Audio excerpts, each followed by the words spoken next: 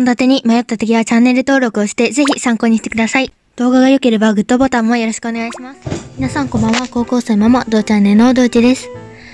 今回はサバと大根の味噌煮を作っていきます。まず大根半分をカットしていきます。大根の皮を剥いていきます。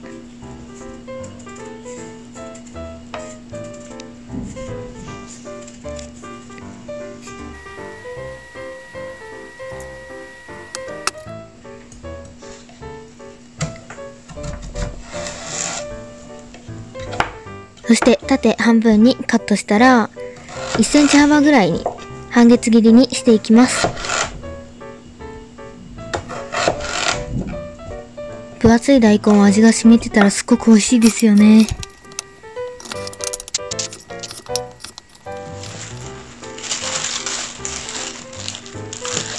ほうれん草はざく切りにしていきます。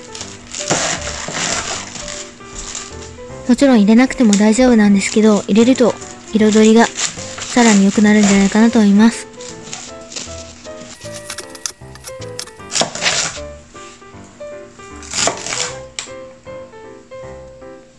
サバは4等分にカットします。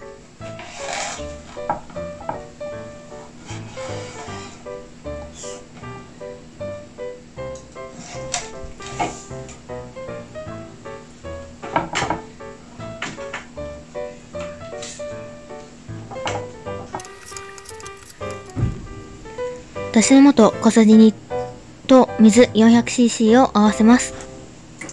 そこに大根を入れていきます。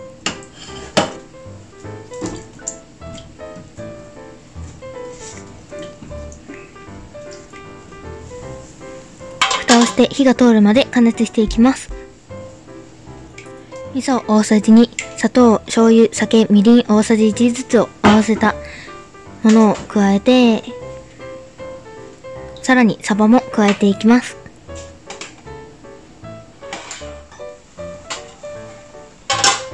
蓋をして火が通るまで加熱していきます。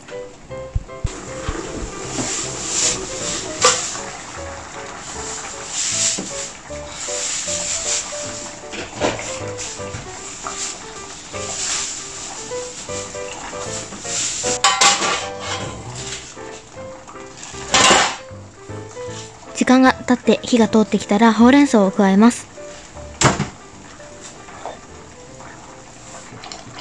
完全に火が通ったら完成です。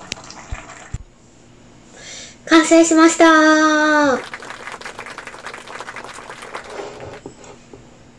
めっちゃ美味しそうです。冬にぴったりのあったかい煮物ができました。サバを使った煮物は、まあ、あんまり作る機会ないんですけど、めっちゃ美味しそうにできたので、早速食べていきます。いただきます。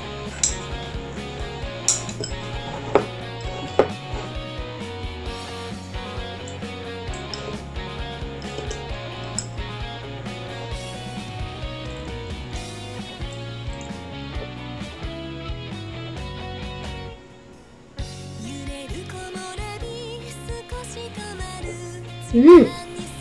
うん、美味しい。サバすごく合います。今の時期の大根はすごく大きくて安くてしかも美味しいですよね。うん。今回は家にすごく大きな大根があったので、それを消費したいなと思って、こちらのレシピを作ったんですけど、煮物にしたらめちゃくちゃ美味しいですね、やっぱり。そして味噌の味が効いててめっちゃ美味しいです。この味噌煮があるくらいなので、この煮物にもサバはすごく合うんですけど、絶対ご飯も進むと思います。冬にぴったりなレシピだと思うので、ぜひ作ってみてください。星4.5最後まで見ていただきありがとうございます。もしよければ、こちらの動画も見ていってください。チャンネル登録は私のお腹を押していただけると簡単にできるので、ぜひお願いします。では。